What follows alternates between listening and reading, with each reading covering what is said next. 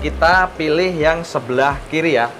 Sebenarnya ada dua ekor ini, tapi saya mantepnya yang yang ini karena memang karakter mutiara, marking ini lebih unggul dibandingkan yang sebelah kanan. Yuk kita serok aja ya.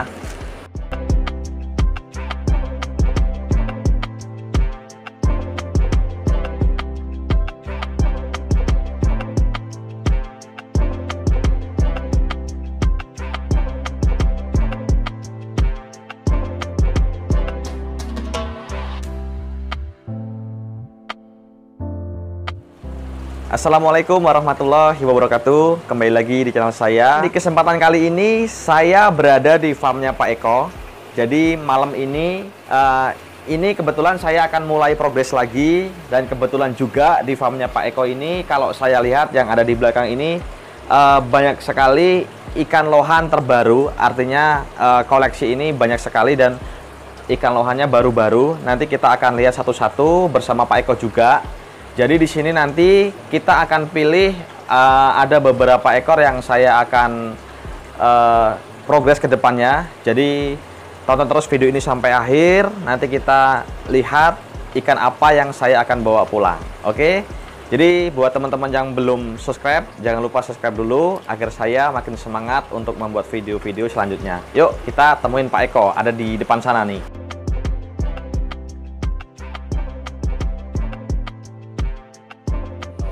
Nah, ikan lohan yang terbaru ini ada apa aja nih Pak Eko?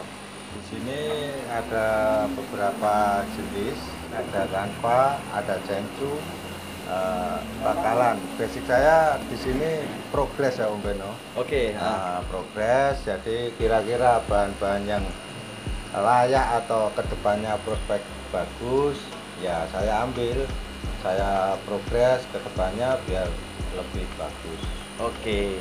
Artinya di sini teman-teman Pak Eko itu memang sang progresor bisa dibilang begitu ya. Jadi ikan-ikan di sini semuanya uh, bervariasi ya Pak ya. Iya. Dari yang ukuran buraya, ada yang ukuran sudah dua jari, tiga jari, bahkan ada yang ikan jadi pun ada di sini. Iya. Nah, boleh tahu nggak nih karakter ikan lohan yang seperti apa sih yang bisa dikatakan uh, Pak Eko suka atau ikan lohan yang kelihatannya bagus nih?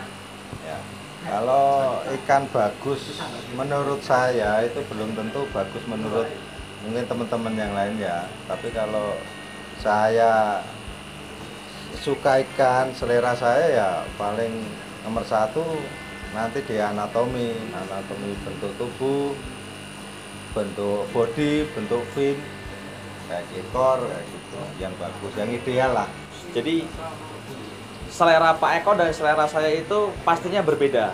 Belum tentu yang menurut saya bagus, belum tentu juga menurut Pak Eko dan teman-teman juga bagus. Yang terpenting tadi itu ya Pak ya. Ya. Jadi di anatominya ya. Anatomi. Oke, ini bisa diperjelas nih Pak dalam arti anatomi yang bagus itu anatomi ikan lohan yang seperti apa nih? Ya, panjang body, terus bentuk kuncian belakang, pin, nutup sama ekor. Oke, artinya uh, lohan yang anatominya bagus itu secara sekilas dipandang itu udah terlihat ya. Udah terlihat. Jadi bodinya yang kotak ya, Body, kalau kita bisa bilang tuh. Atau ada kunciannya, kuncian itu yang di, di belakang belakang itu kan pasti. Tapi kalau ikan kurus itu ya agak samar sih kunciannya. Betul, betul. Kurang isi. Oke. Nah mungkin selain anatomi yang bagus, apa yang harus kita perhatikan ketika uh, kita memilih ikan untuk diprogres? Terutama menurut Pak Eko nih, ikan-ikan yang seperti apa? Ya setelah anatomi kita lihat aksesoris ya, aksesoris itu di mutiara dan di marking. Oke. Okay. Ya karena markingnya bagus, marking yang panjang, tidak putus atau lebih bagus lagi yang flower.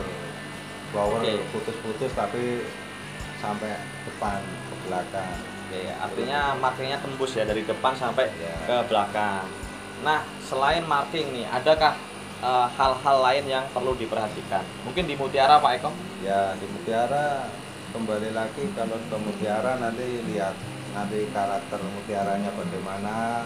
Nanti di satu ikan itu kan ada bisa beberapa karakter mutiara. Ya, betul. Nah, nanti ya kita milih bisa mungkin ada beberapa karakter Oke. nanti bisa lebih bagus lebih bagus. Mas artinya pilihlah mutiara yang bervariasi bentuknya baik bulat, baik dia memanjang atau berbentuk cacing mungkin Pak ya. ya Artinya nanti ketika mutiara yang seperti itu jadinya lebih bagus ya besarnya ya. ya lebih bagus lebih variatif kita lihat karakter di mutiaranya kan lebih bagus Oke, tentunya crosshead dan crossface ya Pak Eko ya. crosshead crossface biasanya kalau crosshead itu kalau ikan-ikan di sini ada beberapa ikan yang memang dari kecil dia memang agak gundul Ah. itu biasanya menurut pengalaman saya Mas Beno kalau di sini biasanya aku maksimalin jenongnya dulu Oke. dia lebih up lebih maksimal baru kita bantu tanning dari atas Untuk maksimalin mutiara tadi itu ya. mutiara yang gundul Oke. Nah, biasanya entah itu ikan SRD atau ikan kanva yang ada ada karakter kayak gitu. Oke, itu bisa menjadi eh, tambahan wawasan buat teman-teman juga ya Pak ya. Oke, artinya untuk memprogres itu bebas ya. Kita Bebas. lihat dari basic ikan itu sendiri ya. Ya. Ini kurangnya di Apa? apa, nih gitu ya. Ya. Misal di mutiara eh, atau di body atau di jenong. Nah, kita kejar di apanya dulu gitu ya Pak Eko ya.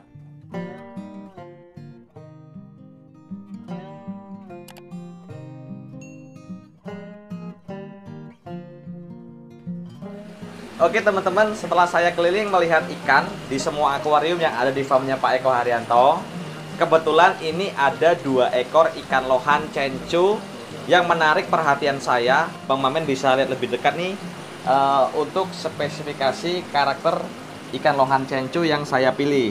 Nah ini yang pertama teman-teman. Kalian bisa lihat karakternya seperti ini. Dan yang sebelah kiri ini yang cencu kedua pilihan saya kita akan progres lohan cencu ini ke depannya. Nah, dari kedua lohan cencu yang saya pilih ini, kita akan minta pendapat dari Pak Eko Haryanto nih. Apa pendapat Pak Eko mengenai lohan cencu yang saya pilih ini?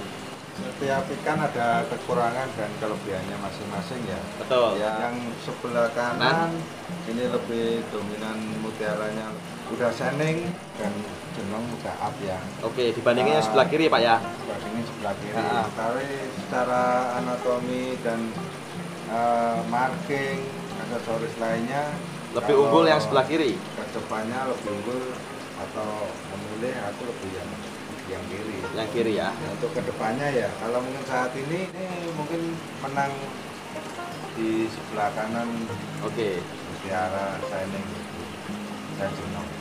Artinya untuk saat ini kalau menurut Pak Eko yang kanan itu dia lebih unggul. Artinya aksesoris. di aksesoris ya, Ya. baik mutiara, jenong, body ya. Tapi untuk jangka panjang ke depannya yang cencu sebelah kiri lebih prospek Pak ya. Lebih prospek.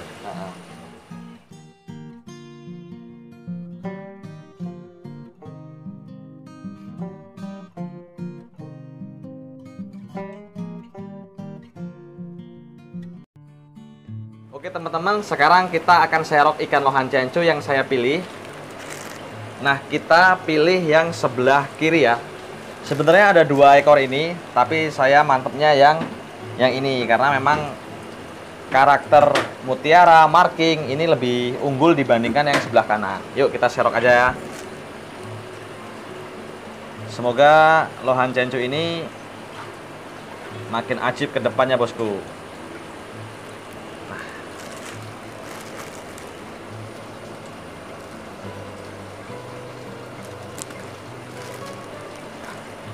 Ini dia sudah masuk, kita bawa pulang ya. Lihat Bang Mamen. Oke, saya kira itu. Kurang lebihnya kami mohon maaf. Ambil yang baik dari apa yang saya sampaikan, yang tidak baik tidak perlu kalian ikuti. Jika kalian suka dengan video ini, jangan lupa like-nya. Dan jika kalian anggap video ini bermanfaat, jangan lupa subscribe channel ini. Saya pamit undur diri. Assalamualaikum warahmatullahi wabarakatuh. Salam jenong dari Jogja. Bye-bye.